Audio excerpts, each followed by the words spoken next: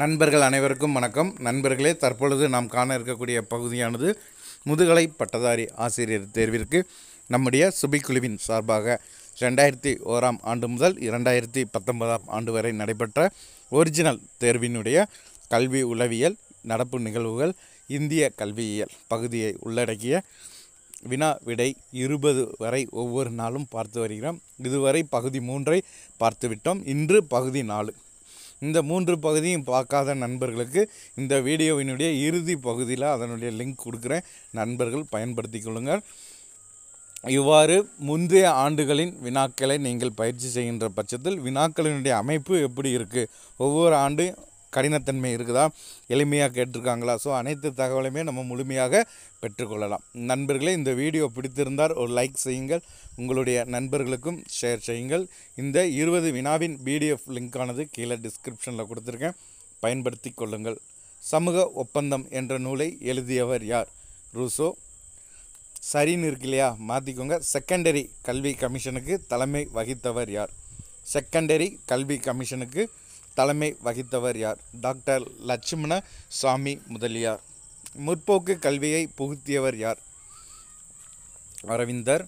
மதராஷா என்பது ஸோ நாலாவது வினாவானது மதராஷா என்பது முஸ்லீம் பள்ளி.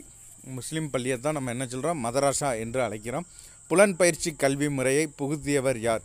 A S Neill. கிராமப்புற மற்றும் மலைவாழ் மக்களின் வறுமைக்கு முக்கிய காரணம் என்ன?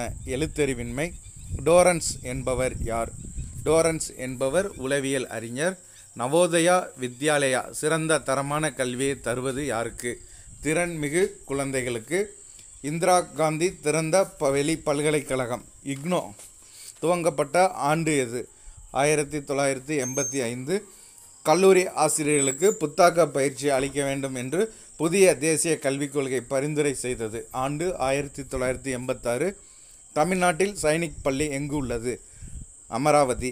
பள்ளி இணைப்பு மையத்திற்கு மாற்றாக செயல்பட துவங்கியுள்ள அதாவது பள்ளி இணைப்பு மையத்திற்கு மாற்றாக செயல்பட துவங்கியுள்ள நிறுவனம் எது? DIET option C. ஜெர்மன் என்பவரின் கூற்றுப்படி நுண்ணறிவு ஈவு நூற்றி இருபது முதல் நூற்றி நாற்பது வரை உள்ள மாணவர்களை எந்த வகையில் சேர்க்கலாம்? திறன் மிக்கவர்கள். மக்கள் தொகை பிரச்சனையானது சமூக பிரச்சனை. கொசுவினால் உண்டாகும் நோய் எது? மலேரியா. உடல் எடையில் எத்தனை சதவீதம் நீரால் ஆனது? ஸோ இங்கே கொடுத்துருக்க ஆப்ஷன் நான்குமே தவறானது. தேசிய ஒருமைப்பாட்டின் வரையறை என்பது. தேசிய ஒருமைப்பாட்டின் வரையறை என்பது நாட்டை ஒற்றுமைப்படுத்தும் நாட்டு மக்களின் சங்கமிக்கும் உணர்ச்சிகள். இது ரெண்டாவது தரையாக கேட்டிருக்கிறாங்க. முதியோர் எழுத்தறிவின்மையை பிரச்சனையை தீர்க்க உதவுவது முறைசாரா கல்வி.